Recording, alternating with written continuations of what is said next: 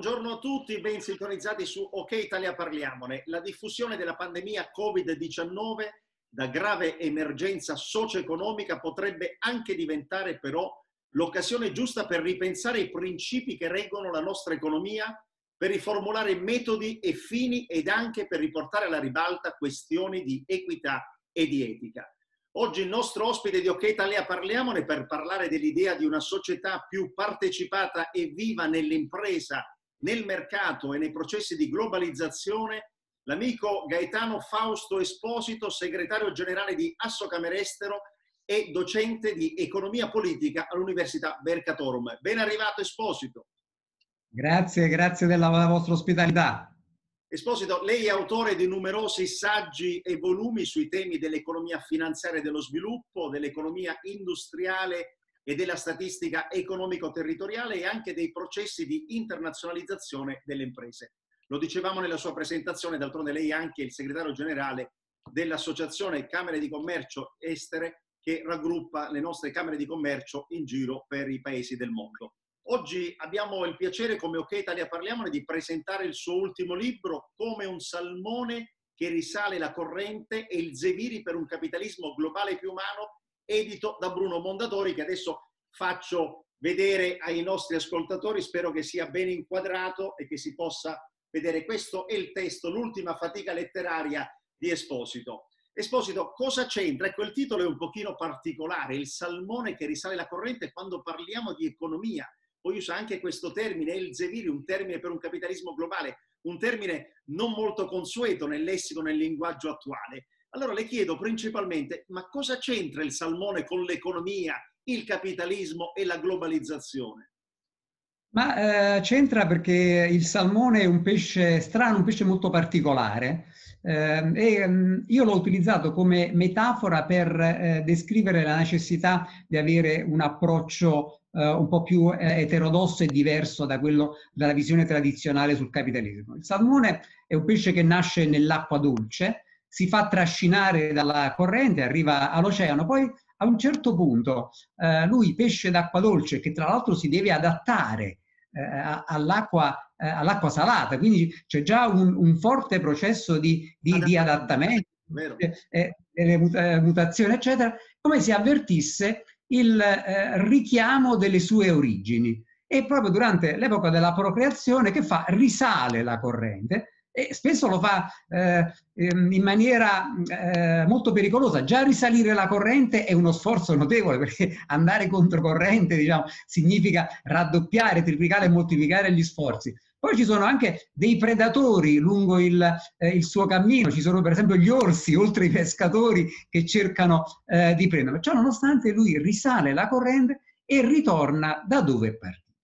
Eh, ecco, quindi eh, a me sembrava che eh, questo personaggio, questo pesce, che, che, è un pesce strano, è un pesce irrequieto, cioè, non trova la sua sistemazione nell'ambiente in cui nasce, ma eh, si adatta e poi eh, in qualche modo eh, ritorna eh, nell'ambiente da cui eh, è nato. È un pesce sicuramente irrequieto, un pesce irriverente.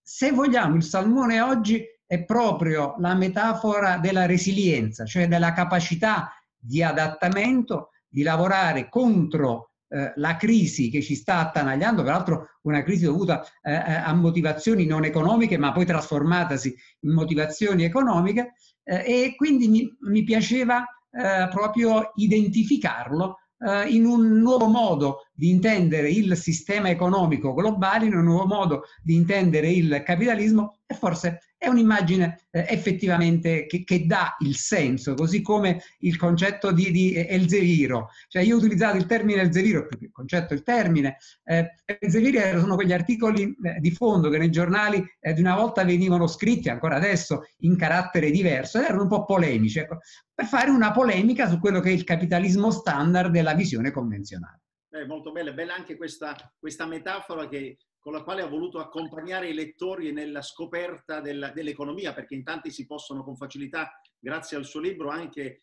eh, si possono affacciare al mondo dell'economia per cercare di conoscerne in maniera anche estremamente semplice, perché ho notato nel suo libro che nonostante lei tratta argomenti molto complessi, riesce a, eh, a rappresentarli con una capacità di linguaggio, di scrittura veramente molto facile, questo è un qualcosa di non comune e la ringrazio per questo. Ma Esposito, l'evoluzione della tecnologia negli ultimi anni, lo vediamo anche scorrendo le pagine del suo libro, perché lei lo riporta, viaggia a velocità a cui difficilmente riusciamo ad adeguarci per tempo. Non corriamo il rischio di non essere in grado come persone di metabolizzare il cambiamento? Sì, è un rischio che eh, effettivamente stiamo correndo eh, ed è un rischio che eh, è tipico di questa fase eh, della, eh, della, rivoluzione diciamo, trasformativa che stiamo vivendo.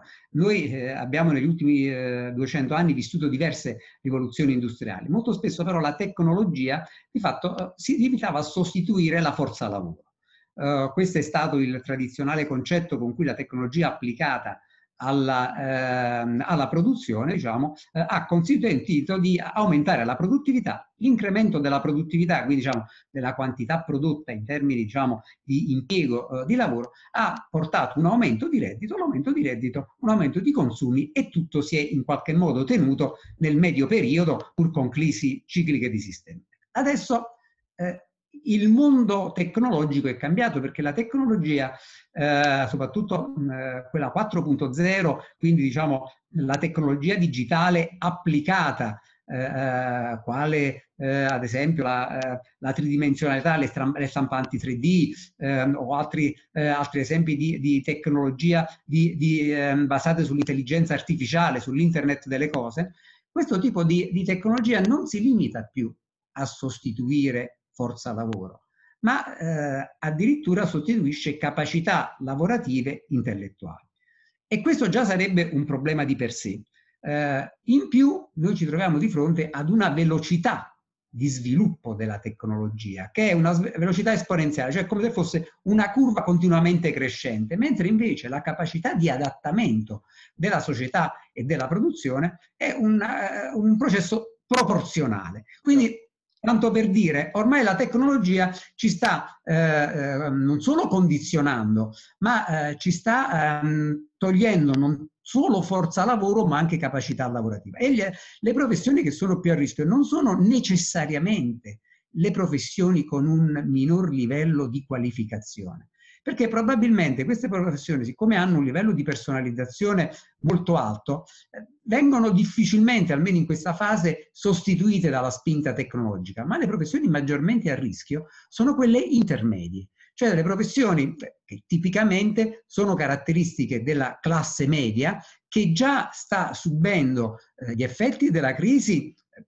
l'ha subita eh, fin dall'inizio quando diciamo con eh, l'immagine diciamo, che tutti abbiamo eh, in testa del crollo della Lehman Brothers, eh, le persone portavano i loro scatoloni, lasciavano i loro scatoloni eh, ehm, con le cose dentro, le portavano fuori. Quindi l'ha subita già eh, nel 2008 la sta ulteriormente subendo in questa fase. Ecco, quindi noi dobbiamo essere in grado di avere che approccio? No, un approccio fondamentalmente trasformativo. Dobbiamo cercare eh, di eh, avere come antidoto, cioè esiste un unico antidoto, quello di incrementare la creatività nello sviluppo di mansioni anche standardizzate e anche intellettuali. Lo sviluppo della creatività è per il momento l'antidoto che ci consentirà di usare le macchine anzi di, di potenziarci ulteriormente. E questo significa anche cambiare il modo con cui noi affrontiamo i processi di formazione, perché eh, noi siamo abituati a una formazione abbastanza ancora tradizionale, quando si dice la formazione sul computer, ma ormai il problema non è più il computer, è un modo diverso di comprendere gli algoritmi metabolizzandoli in un approccio creativo. Ecco, quando parlava del Lehman Brothers, ricordiamo che proprio l'introduzione del suo libro racconta appunto, eh, ed è piacevole anche leggerlo, questa improvvisa eh, crollo che ci fu appunto il 15 settembre 2008, appunto quando ci fu il crollo della Lehman Brothers e si vedevano tutte queste persone che immaginavamo tutte come delle persone infallibili che uscivano dal, dalla sede principale con gli scatoloni pieni dei propri effetti personali. Infatti il suo libro prende proprio l'avvio proprio del, nel racconto di quella notte, che lei dice poco dopo l'una di notte falliva Lehman Brothers, il 15 settembre del 2008.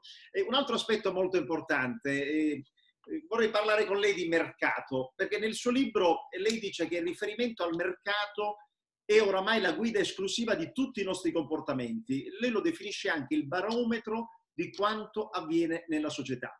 Ma di quale mercato e di quale società parla nel libro? Hmm. Allora, eh, non parlo del mercato che è stato il eh, manifesto, il feticcio dello sviluppo neoliberista degli ultimi anni. Eh, noi abbiamo avuto, oh, direi a partire dagli anni Ottanta, eh, una fortissima eh, considerazione da parte di economisti anche molto, eh, molto noti, anche molto stimati, per tutti cito Milton Friedman, lui è stato il premio Nobel dell'economia, un po' considerato il padre di tutti gli economisti neoliberali. Eh, per Friedman e per le persone che hanno seguito l'approccio, il mercato, in quanto ipotizzato come una specie di meccanismo impersonale, diventava il metro di tutte le cose. Allora, cosa consente il mercato? La maggiore efficienza. E allora affidiamoci al mercato per il tutto, perché maggiore efficienza significa costo più basso e quindi benessere per tutti. Ma questo se il mercato fosse effettivamente un mercato effettivamente funzionale. Cioè, se per esempio non ci fossero uh, posizioni di, di, rendita monopolistica o oligopolistica che consentono quindi sostanzialmente delle, delle forme di sfruttamento. Purtroppo però questa, questa impostazione ha finito per spostare eh, sul mercato, sui principi di mercato, anche tutta un'altra serie di eh, fattori, elementi che col mercato poco avevano a che vedere. Ad esempio, a un certo punto si inizia a parlare di processo politico come un processo di mercato, eh, le istituzioni devono ragionare come ragiona il mercato. Ora, eh, però qui c'è una grossa confusione, perché il mercato è un, un meccanismo di incontro allora, se il mercato è un meccanismo di incontro, allora deve essere anche un meccanismo di incontro in cui non si incontrano soltanto valori monetari, ma si incontrano anche persone e valori etici. In questo senso il mercato, in quanto tende a massimizzare i risultati, può essere considerato un elemento, un paradigma di riferimento, non nel senso che ha portato, come ha ricordato lei giustamente, agli scatoloni della uh, Lehman Brothers. Ecco, quello è stato forse il momento l'immagine più plastica in cui un mercato eccessivamente finanziarizzato, tutto spostato sulla speculazione, ha, eh, eh, ha fatto un, un botto enorme e purtroppo quel botto enorme è durato quasi dieci anni. Cioè ha portato invece ad una crisi complessiva, diciamo, dal punto di vista dell'economia reale, che si è diffusa ad onde e, e che ha eh, sostanzialmente condizionato la vita, la vita di, tutti, di, tutti, noi eh, e poi non ne eravamo ancora usciti, almeno in Italia, non del tutto almeno, quando c'è stato questo secondo virus, il primo è stato un virus finanziario, l'altro invece un virus biologico, ma sempre di virus parliamo. Ecco, infatti perché noi stiamo vivendo in questo periodo la più grande crisi economica dal dopoguerra, ovviamente legata alla pandemia Covid-19, ma ecco, una crisi che è superiore a quella che è iniziata, come diceva giustamente lei, nel 2008. Al termine di ogni grande crisi eh, è solito interrogarsi sulle sorti del capitalismo e delle sue istituzioni più emblematiche. Queste sono ovviamente l'impresa e il mercato di cui ha parlato anche lei poco fa. La crisi, Esposito, non è ancora finita, speriamo che finisca presto, anche se dobbiamo essere molto onesti intellettualmente, sappiamo che purtroppo avremo ancora da subire molto da un punto di vista economico. E io la domanda gliela faccio lo stesso. Il capitalismo, così come siamo abituati a conoscerlo, quello, il capitalismo che abbiamo studiato sui testi universitari, è morto?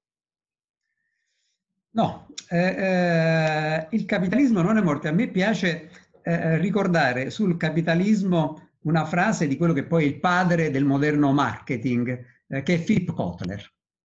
Eh, Philip Kotler è un professore eh, americano che eh, sostiene, dice, ma il capitalismo è il peggior regime eh, economico esistente, eh, escluso tutti gli altri che abbiamo sperimentato che hanno fallito.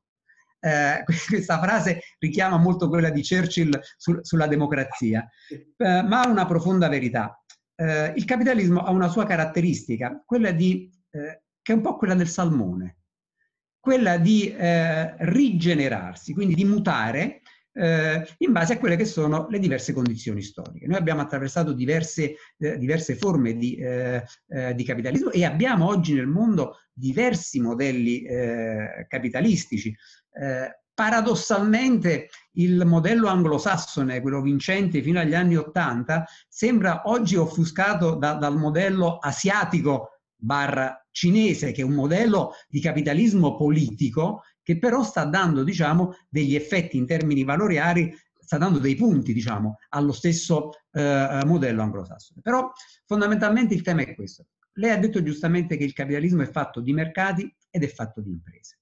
Allora, eh, i mercati e le imprese non sono dei concetti astratti, sono dei concetti assolutamente concreti eh, e uno dei problemi è che noi dobbiamo cercare, e, e, questo già si sta facendo, e il nostro paese storicamente ha una tradizione di inserire più valori delle persone all'interno, diciamo, del processo di mercato e di inserire più valori imprenditoriali all'interno delle imprese. Una delle problematiche che noi abbiamo vissuto eh, recentemente è che eh, nel mondo le imprese si sono fortemente managerializzate. Eh, noi abbiamo perso in molti casi la figura dell'imprenditore che era sostanzialmente definito, se uno vuole ricorrere a Schumpeter, che è stato quello che ha detto che l'imprenditore è il motore dello sviluppo economico, eh, diceva ah, l'imprenditore sostanzialmente è un pazzo, non è interessato tanto al profitto di breve periodo, ma è interessato ad, ad un processo di sviluppo della sua impresa, della sua immagine. Eh, noi abbiamo perso questo tipo di imprenditori e abbiamo eh, perso alcune lezioni che ci venivano da grandi imprenditori del passato. Oggi il termine, eh, il riferimento spesso appare abusato, Adriano Olivetti, ma non abbiamo avuto solo Adriano Olivetti, abbiamo avuto anche i FOC, abbiamo avuto grandi imprenditori per i quali l'impresa eh, l'azienda più che l'impresa. L'azienda era uno strumento non soltanto funzionale al profitto, c'è un bellissimo volumetto di Olivetti in cui a un certo punto lui dice, ma eh, in, in, un discorso eh, eh, che lui fa, dice, ma può l'azienda darsi dei fini che non sono il profitto? In realtà un tema, e qui chiudo, eh, il capitalismo è, è vivo e vegeto, il capitalismo si sta ripensando, noi abbiamo bisogno sempre più che si affermi un capitalismo imprenditoriale, perché servono le imprese, e civile, cioè che porti dei valori che sono anche dei valori di condivisione, ma questo non per un problema di altruismo nei confronti degli altri, perché questi valori sono convenienti per l'impresa di oggi che se non fa condivisione di lavoro, di conoscenze e di know-how è destinata a isterilirsi all'interno, diciamo, di quelle che sono le sue mura. Indubbiamente Olivetti è stato anche, possiamo definirlo, uno dei primi visionari. Oggi si parla di alcuni imprenditori, soprattutto di dol, oltreoceano, come visionari, ma possiamo dire che Olivetti è stato uno dei primi ad avere una visione che andasse ben oltre appunto la ricerca, la mera ricerca del profitto aziendale. Ecco, in un momento di crisi esposito, quale anche quello attuale, serve ridare fiducia alle imprese. Sempre più le imprese sono sfiduciate e hanno paura di ciò che eh, dovranno affrontare nel prossimo immediato futuro. Le chiedo quale ruolo e responsabilità hanno le istituzioni per rilanciare la fiducia nel Paese. Ricordiamo che c'è anche un bellissimo discorso di Mattarella di poco tempo fa al riguardo. Sì, eh, il Presidente della Repubblica eh, ha più volte eh, evidenziato il nesso che c'è tra fiducia e responsabilità. Eh, se uno eh, analizza perché nascono le istituzioni, il motivo fondamentale per cui nascono le istituzioni dovrebbe essere proprio quello di dare fiducia alle persone producendo una serie di beni che gli economisti chiamano beni pubblici, la sicurezza, eh, la sanità, diciamo, eh, una, una, burocrazia eh, funzionante che semplifichino la vita e non consentano sostanzialmente di affrontare quelle problematiche che singolarmente invece eh, gli individui non potrebbero, eh, non potrebbero sostenere. Noi ci troviamo oggi eh, da, da, diverso tempo invece, ma non soltanto nel nostro paese, direi è un processo un po', un po generalizzato. Eh, le istituzioni eh, paradossalmente si sono trasformate in uno strumento di sfiducia, cioè eh, eh, capita spesso che invece di svolgere un ruolo rassicurante per quanto riguarda i cittadini, eh, per il sommarsi di processi burocratici di vario tipo, ma anche di processi di potere di vario tipo, le istituzioni invece finiscono per creare un forte effetto di delusione.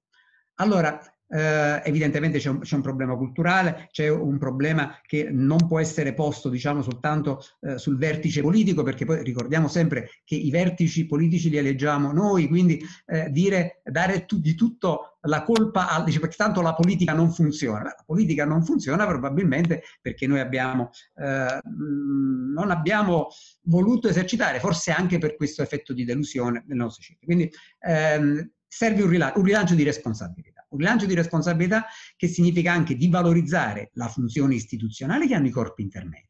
I corpi intermedi eh, hanno svolto, soprattutto nella crisi eh, che ha preceduto questa Covid, un ruolo molto importante eh, di sussidiarietà. I corpi intermedi non possono sostituire lo Stato, i corpi intermedi non possono sostituire il pubblico, serve un patto diverso e non solo burocratico tra corpi intermedi che assumono delle loro responsabilità para-istituzionali ma non istituzionali e una classe dirigente politica che attraverso l'ascolto si assuma la responsabilità delle scelte e sulla base di quelle scelte venga valutato. Questo credo che sia l'unico modo per cercare in progresso di tempo di restituire eh, non soltanto una fiducia, ma anche un ruolo di sviluppo effettivo alle eh, istituzioni che sono essenziali e, chiudo con una battuta, non possono essere soltanto sostituite dalla eh, rete digitale, perché le istituzioni si basano sulle persone e anzi probabilmente l'aver pensato che la rete digitale favorisse processi di partecipazione, ha favorito un allontanamento dei cittadini dalle istituzioni e non un avvicinamento, perché molto spesso la rete è preda di narrazioni poco veritiere, per non dire false, e quindi contribuisce essa stessa ad alimentare questa sfiducia. Ecco, l'Italia, Esposito, viaggia ancora purtroppo a una doppia velocità per quanto riguarda l'economia. Purtroppo anche, insomma, per quanto riguarda i collegamenti reali, stradali e ferroviari, ecco se vogliamo dirla tutta, perché c'è ancora un forte divario tra nord e sud del paese. Le chiedo come, quando e se finalmente usciremo da questo problema che sembra insormontabile. Ma lei ha detto eh, giustamente, eh, problema insormontabile, se già cento anni fa Giustino Fortunato eh, eh, se, se, ne, se, ne, occupava, poi dopo di lui Francesco Saverio Nitti, tante, eh, tanti intellettuali. Eh, e è singolare vedere che questi intellettuali non si ponevano soltanto un problema di risorse, ma si ponevano anche un problema di classe dirigente e di quello che oggi noi chiameremo il capitale sociale, cioè di assenza di, di, di nessi eh, prima parlavamo di fiducia, di assenza di nessi di fiducia tra le persone che vivevano nel mezzogiorno, cioè questo, questo forte processo eh, di sfiducia. Ora eh, è evidente che eh, il mezzogiorno ha eh, delle problematiche che riguardano il sistema infrastrutturale, che riguardano il sistema del credito, eh, ma direi eh, purtroppo, ecco, purtroppo, ancora oggi vale quello che negli anni 50 un sociologo che si chiamava Bansfield definì il familismo amorale che è un problema tutto culturale.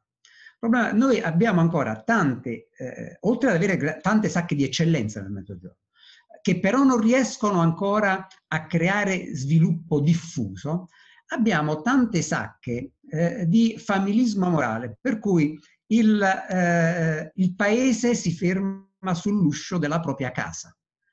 Ecco, eh, il che significa eh, una delle carenze ancora oggi del Mezzogiorno è quella del, del capitale civico.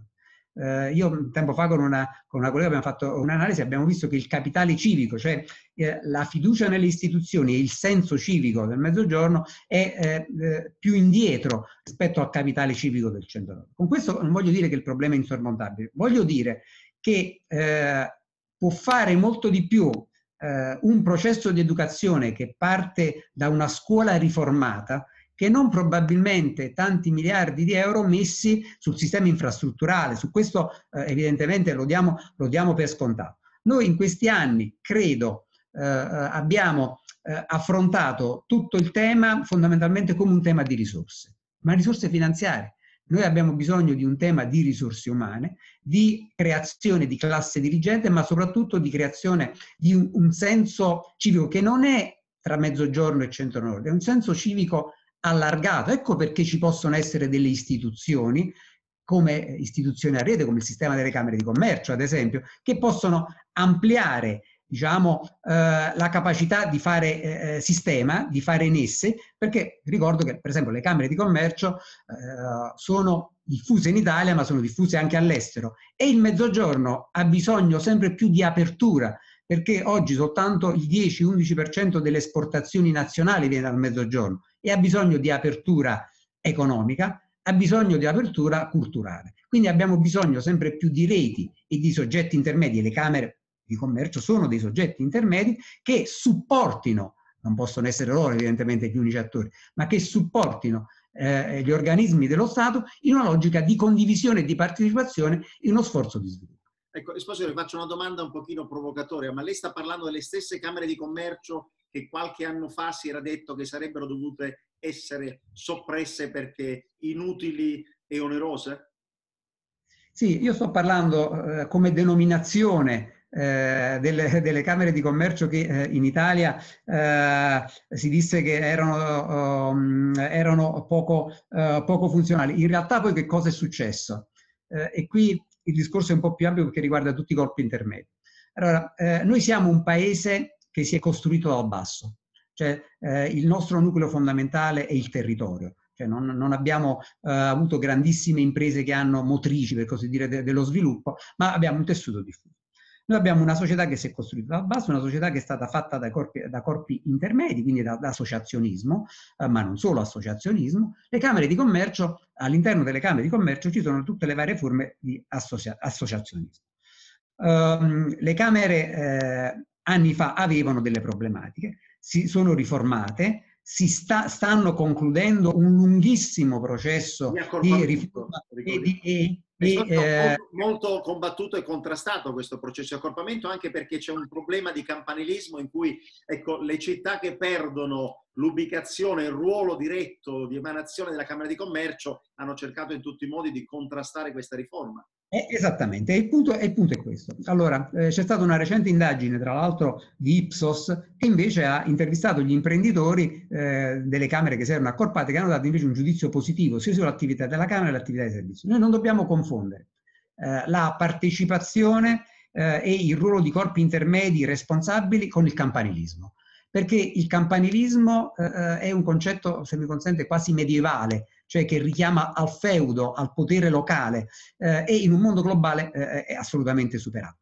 Il processo di partecipazione è un processo che parte dal locale, ma cerca di creare dei nessi, cioè nel momento in cui bisogna realizzare dei servizi su scala globale, prima abbiamo parlato di eh, innovazione 4.0 e bisogna avere quindi una scala al riguardo, è importantissimo l'aggancio sul territorio, ma il fatto che ci sia la bandierina oppure che i soggetti locali vengano, come dire, siedano all'interno di un consesso, diventa secondario rispetto alle esigenze imprenditoriali che nascono dal territorio, ma si proiettano in un contesto globale. Per questo, diciamo, le Camere stanno attraversando, hanno attraversato un processo di riforma, speriamo ormai concluso, per questo noi pensiamo che anche le Camere italiane all'estero, che lavorano in 56 paesi, sono dei soggetti che possono aprire sul versante estero l'Italia, perché l'Italia, pur avendo un buon grado di apertura internazionale, rimane ancora un paese chiuso su alcuni versanti ecco, eh, alle forme ecco, di innovazione. Su, proprio su questi aspetti voglio farle un'altra domanda. Le chiedo quanto digitalizzazione, export e internazionalizzazione delle nostre PMI possono essere da volano per il rilancio della nostra economia. Guardi, eh, se lei mi avesse fatto questa domanda eh, un anno fa, io le avrei detto eh, sicuramente eh, è fondamentale, attenzione, la digitalizzazione si sta affermando, eh, dobbiamo seguirla. Ormai eh, l'esperienza post-Covid ci ha... Un'accelerazione pazzesca, tutto. Ha dato un'accelerazione pazzesca. Allora, teniamo presente che già prima del Covid il mercato internazionale dei servizi digitali eh, faceva tre volte come tasso di incremento il mercato di beni e servizi. Questa cosa è cresciuta tantissimo. Cosa voglio dire? Oggi capacità di esportare e capacità di stare sulla rete in vari modi, non necessariamente soltanto come esportatore, ma anche come importatore o come subfornitore, perché un altro degli effetti del, eh, della crisi Covid è stato un accorciamento dei processi di subfornitura globale, quelle che vengono chiamate le catene globali del valore, diventa strategico. Non è pensabile da un lato una politica di digitalizzazione, dall'altro una politica di esportazione, dall'altro una politica di promozione di vendita all'estero. Tutti e tre questi elementi devono andare di pari passo con un, uh, una forte integrazione. Devo dire che da questo punto di vista uh, l'aspetto è uh, è stato raccolto, nel senso che il governo ha messo in piedi un programma di promozione integrata in cui ci si rende conto che un'impresa per vendere all'estero, ma anche per vendere in Italia, ha bisogno non solo di un export manager, ma ha bisogno di un manager digitale. E su programmi come questi a livello territoriale, le Camere di Commercio italiane si stanno molto impegnando, perché hanno creato addirittura in ogni provincia dei punti di accesso eh, a, alle imprese, eh, dei, dei PID delle Camere, punto impresa digitale, perché ormai la digitalizzazione è diventato il veicolo di tutto. Ma attenzione, eh, dobbiamo tenere presente che la digitalizzazione va sempre coniugata con un certo aspetto di personalizzazione. Per cui è cambiato il mix del modo di essere presenti all'estero, perché la rete digitale ci aiuta anche a, a rappresentare, probabilmente a rendere più economici alcuni processi. Però il rapporto poi di personalizzazione diventa comunque un rapporto fondamentale perché non tutto può essere chiuso sulla rete digitale e anzi la, ehm, enfatizzare troppo il peso della rete digitale in, in alcuni processi rischia di essere eh, quasi misleading e rischia quindi di non portare quei processi di sviluppo che invece si vorrebbero sollecitare. Ecco, arriviamo alla chiusura, alla conclusione del suo libro, del suo testo. Nell'ultimo capitolo lei parla di una globalizzazione dal volto umano. Come si può realizzare questa globalizzazione dal volto umano? Perché questo mi incuriosisce molto. Devo essere sincero che nel libro ho trovato la risposta, però vorrei sentirlo dalla sua viva voce. Ma guardi, ehm, io ho richiamato le parole di un, di un, economista che parlava di capitalismo dal volto umano. Eh, noi ogni anno eh, a Davos, eh, in altre sedi, eh, vediamo che c'è stato eh, in, questi, eh, ehm, in, questo periodo, da un lato, una crescita abnorme della ricchezza prodotta attraverso strumenti finanziari. per cui io prima dicevo servono imprenditori, ma in realtà serve eh, ricominciare a fare e non soltanto a speculare, perché questo ha portato due cose. Ha portato da un lato un fortissimo ampliamento delle disuguaglianze. Generalmente poi le disuguaglianze vengono viste come disuguaglianze di reddito, di, eh, di patrimonio, sì è vero, il famoso 1% che detiene quote abnormi di reddito mondiale, ma la verità è che il primo aspetto della disuguaglianza riguarda la libertà delle persone. Allora, noi eh, possiamo avere sviluppo, come dice un grande economista che è Amartya Sen, soltanto se aumentiamo la libertà e soltanto se eh, aiutiamo le persone ad esprimersi di più. Questo richiede evidentemente un, eh, un cambiamento fondamentale di paradigma. Le faccio un esempio. Io credo che eh, non sia stato un bene, almeno per, per, per, i valori in cui io credo, in cui eh, i valori occidentali, eh, il processo che gli Stati Uniti hanno negli ultimi quattro anni eh, sperimentato, che è stato un processo di isolamento. Se allora la, la potenza egemone eh, dà eh, al mondo il messaggio che isolarsi conviene. Tutto questo evidentemente porta diciamo, ad un processo eh, negativo. Non a caso abbiamo visto che noi abbiamo eh, perso moltissimo sulla cultura del multilateralismo, delle relazioni multilaterali e sono fatti accordi eh, eh, tra, tra singoli paesi. Io credo che noi dobbiamo da un lato rilanciare quello che ho detto, il senso civico perché conviene, Devo dire che ce ne sono, ci sono diversi, eh, diverse analisi, anche a livello internazionale, che dimostrano che eh, una maggiore attenzione nei confronti degli altri, un diverso modo di avere una leadership, che io chiamo una leadership fiduciaria, che si basa sicuramente su autorità, ma anche su partecipazione, può dare un senso diverso, ma certo non a tutto il mondo. Però mi eh, colpisce se, eh, eh come è capitato l'anno scorso, le principali multinazionali statunitensi a un certo punto iniziano a dire guardate, è conveniente per noi tener conto non soltanto degli azionisti e dell'utile per l'azionisti, ma di tutti gli stakeholder delle grandi multinazionali, perché questo ci accredita di più nei confronti di un pubblico. Teniamo presente, e qui chiudo, che noi abbiamo eh, i, eh, eh millennial, ma anche quelli che vengono dopo, uh, uh, che sono molto attenti ad alcuni valori, che sono quello dell'ambiente, della partecipazione eh, e soprattutto della condivisione, e questi sì sono valori che dovranno tenere presente e gli imprenditori dovranno tenere presente per ricostruire io credo eh, e spero, eh, un capitalismo, quello che ho detto eh, prima, dal volto umano, come ha detto lei, un capitalismo imprenditoriale civile, globale. Benissimo, allora è stato veramente un piacere fare questo confronto con Gaetano Fausto Esposito che ci ha presentato oggi il suo ultimo eh, libro, Come un salmone che risale la corrente, un libro che consiglio vivamente di leggere perché tratta con ecco, la grande capacità narrativa che d'altronde anche sentendolo parlare si capisce subito di Gaetano Fausto Esposito, un tema così delicato quale l'economia, i mercati e il, il capitalismo globale più umano, che è l'ultimo tema che abbiamo trattato. Eh, Bruno Mondadori, editore, dove si può trovare questo testo?